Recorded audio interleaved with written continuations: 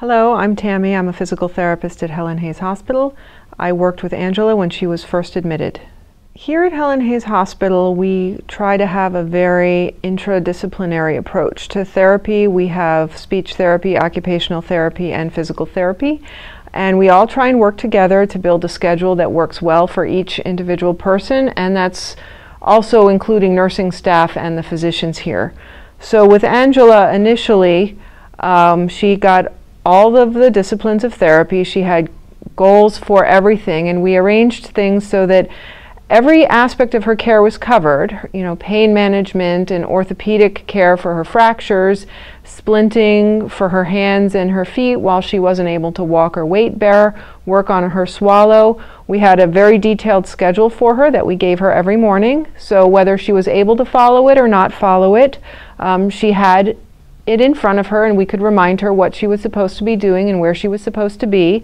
And her family could then reinforce what she was supposed to be doing. Um, nursing had a copy of the schedule so they could kind of arrange basic care around her therapy plan. And then as she became more alert, she was expected to be more involved in her own therapy plan as far as showing up to sessions independently and helping set goals.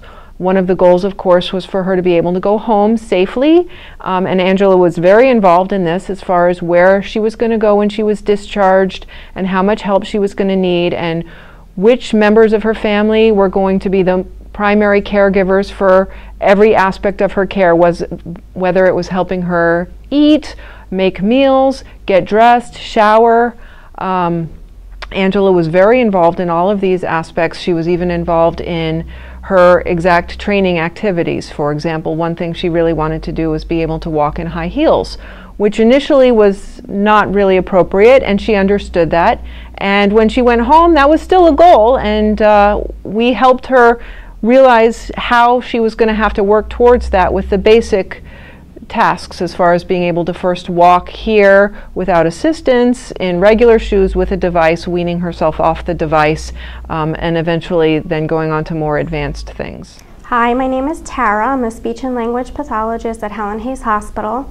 I worked with Angela when she was admitted into the uh, acute inpatient rehabilitation program. The intervention that I provided for Angela um, involved swallowing therapy, coma stimulation, uh, and tracheostomy intervention.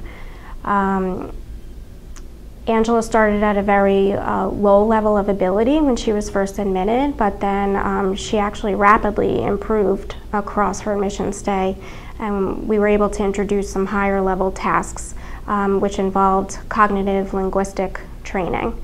Um, Angela did have some memory loss, um, difficulties with executive functioning or self-regulating and organizing. So a lot of these tasks were designed to help her improve those independent abilities so she can return to the life that um, you know, she wanted to continue.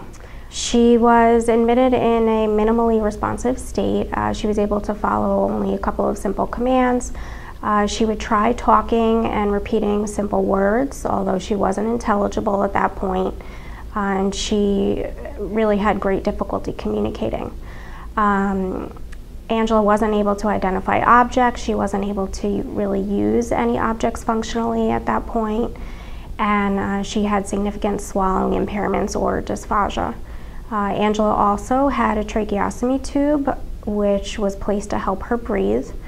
Um, so the therapy I did with Angela involved uh, a lot of swallow therapy um, where we tried to improve the strength of her swallow muscles. Uh, this included offering Angela different, uh, different consistencies of food, including blended food, uh, thickened liquids, and ice chips. Angela's family was encouraged to attend the therapy sessions. Um, I always think it's a great way for family to carry over all of the uh, training and strategies that are used to help a patient recover and carry over independently. Uh, so her family did attend some, some therapy sessions. They were offered training on strategies, um, particularly aids that can help Angela recall information better. Um, they were trained on use of uh, what's considered a memory or a therapy book um, which involves things like a calendar, a therapy schedule, um, and a daily log to record information used as, as a reference for retrieval.